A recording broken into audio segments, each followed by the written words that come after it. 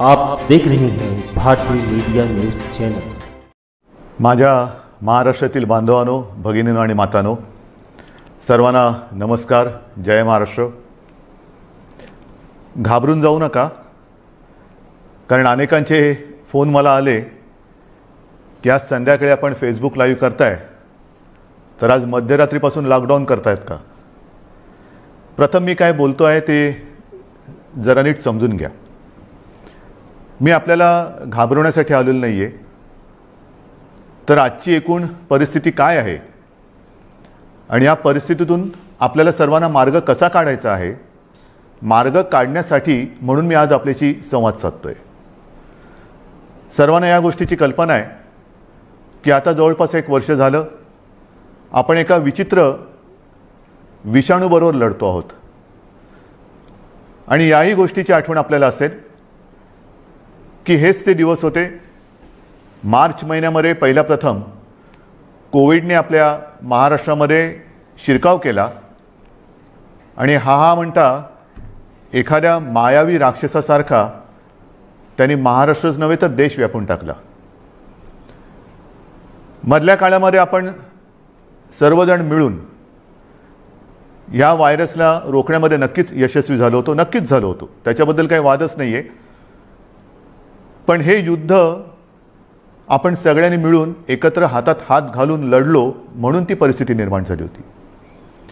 साधारणतः कालच्या जानेवारी फेब्रुवारीपर्यंत आपल्याला असं वाटत होतं की आता झालं संपलं. ये करोना करोना क्या है? क्या चीज आहे करोना? कोविड कोविड क्या है? विशेष म्हणजे गेल्याही वर्षी अर्थसंकल्पीय अधिवेशन होतं. याही वर्षी तोच काळ आला मार्च. अर्थसंकल्पीय अधिवेशन नुकतंच गेल्या महिन्यात पार पाडलं. आणि आपल्याला सर्वांना कल्पना आहे की लॉकडाऊनच्या पार्श्वभूमीवरती आर्थिक परिस्थिती ही संपूर्ण जगाचीच दोलायमान झालेली आहे. आणि त्या परिस्थितीचा विचार करून महाराष्ट्र पुढे नेण्यासाठी एक अत्यंत चांगला अर्थसंकल्प आपल्या माननीय उपमुख्यमंत्र्यांनी अर्थमंत्र्यांनी अजितदादांनी मांडला. आपल्या सरकारचा तो अर्थसंकल्प. महाराष्ट्र पुढे नेणारा संकटातही महाराष्ट्र थांबला नाही थांबणार नाही हे करून दाखवणारा तो अर्थसंकल्प आपण मांडला. आणि त्याच्यानंतर जे जे काय झालं म्हणजे काल परवाकडे होळी धुलीवंदन सगळं पार पडलं पण तिथपासूनच आपल्या राज्यात शिमग्याला सुरुवात झाली. असो त्या शिमग्याबद्दल मी काय बोलणार नाही. त्याच्या त्यालासुद्धा मी जेव्हा उत्तर द्यायचं तेव्हा मी जरूर देईन. तो विषय आजचा नाही आहे आजचा विषय आहे तो कोरोनाची परिस्थिती ही नेमकी काय? आपण काय करणार आहोत? मध्ये मध्ये मी आपल्याला सातत्याने सांगत आलेलो आहे की जर ही परिस्थिती अशीच राहिली तर आपल्याला परत एकदा लॉकडाऊन करावा लागेल की काय अशी एक शक्यता मी बोलून दाखवली होती. ही शक्यता आजही पूर्णपणे टळलेले नाही आहे मला आज पुन्हा एकदा आपल्याला सर्वांना आवाहन करायचं आहे विनंती करायची कारण गेल्या वर्षभरामध्ये माझ्या महाराष्ट्रातील प्रत्येक बांधवानी भगिनीने आणि माताने जे जे मी सांगत आलो ते ते अत्यंत आपुलकीने ऐकून घेतलं आणि त्याच्याप्रमाणे ते वागले. तुम्ही सगळे वागलात. ह्यात सर्व धार्मिक नेते आले सर्व धर्मीय आले सर्व राजकीय पक्ष आले त्यांचे कार्यकर्ते आले. आता काय झाले थोडंसं? की मधला काळ जो आला त्या काळामध्ये आपण थोडे शिथिल झालो.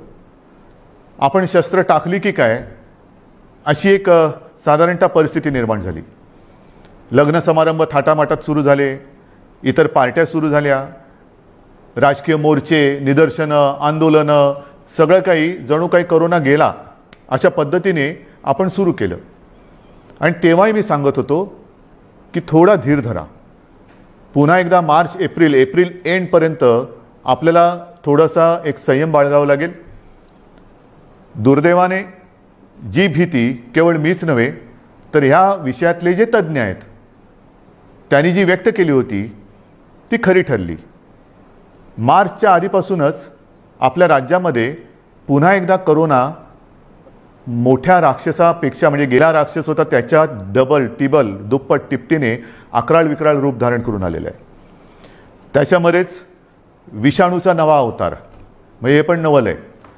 आत्तापर्यंत आपण आपले विष्णूचे अवतार ऐकले होते ज्याचे आपण पूजन करतो. आपल्या सहकार्याची अपेक्षा आहे सर्व राजकीय पक्षांकडनं अपेक्षा आहे सर्व धर्मियांकडनं अपेक्षा आहे. पुन्हा एकदा आपल्या उत्सवांवरती सणांवरती बंधनं आणावी लागतील. जसं गेल्या वर्षी आपण सहकार्य केलं तसंच पुन्हा एकदा हे सहकार्य कराल अशी आशा नाही असा विश्वास व्यक्त करतो आणि ही लढाई पुन्हा एकदा लढण्यासाठी आणि जिंकण्यासाठी सिद्ध व्हा. एवढ्याच शुभेच्छा देतो. जय हिंद जय महाराष्ट्र.